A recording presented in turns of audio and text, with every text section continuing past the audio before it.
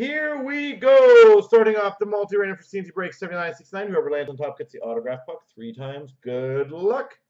One, two, three. Gills gets the autograph puck. Congratulations, sir.